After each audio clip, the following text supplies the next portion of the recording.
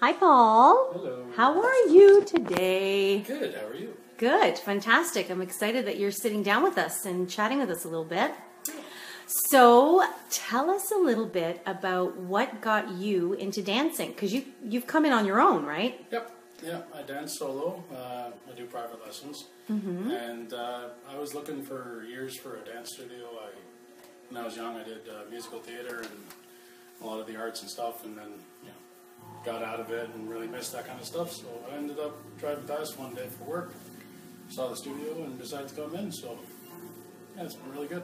Cool. And uh, what um, what is your favorite type of dance? Like, do you like more the Latin dances, the ballroom dances, a specific type of dance? Yeah, my favorite by far is the waltz.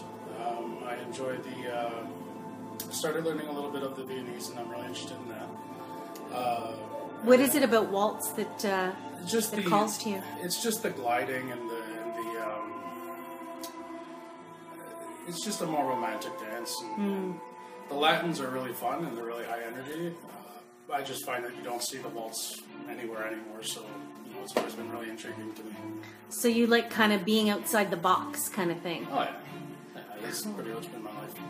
So what's been your favorite thing about uh, dancing or taking dance lessons? You also perform, actually, don't Yeah, you? yeah, I- So you take part in things like showcases and competitions. Yeah. So obviously there's a performance element that really attracts you. Of course. Yeah, I've done uh, a handful, I think probably four showcases by now, and uh, I did one uh, competition in Montreal last year. And yeah, it's just, it's such a great charge to it. There's a whole energy to, uh, to when you're on stage and having everyone watch and everyone celebrating and, and clapping along and everything. It's, it's a lot of fun. It gets you out of your comfort zone that you might have like locked yourself in, and uh, it's a great stress reliever too. I got, I came from a you know a very high stress job and really physical, and come here always smiling. And you know, once you start dancing, it really alleviates alleviates a lot of that stuff. Great.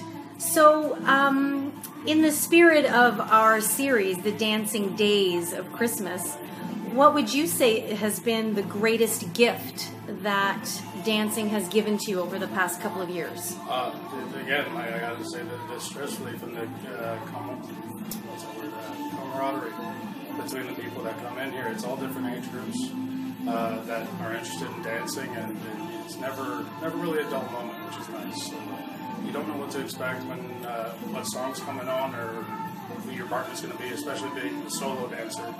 Uh, I don't typically come. I come stag to a lot of the socials and everything, and you know I never, never have, have a lot of time to just be sat alone. So it's nice. So, we literally keep you on your toes Yeah, sometimes, so to speak. Yep. Uh, Tootsies kind of fall off by the end of the night, but that's the fun of it. That's fantastic. Well, thanks so much for sharing, Paul. Thank you very much.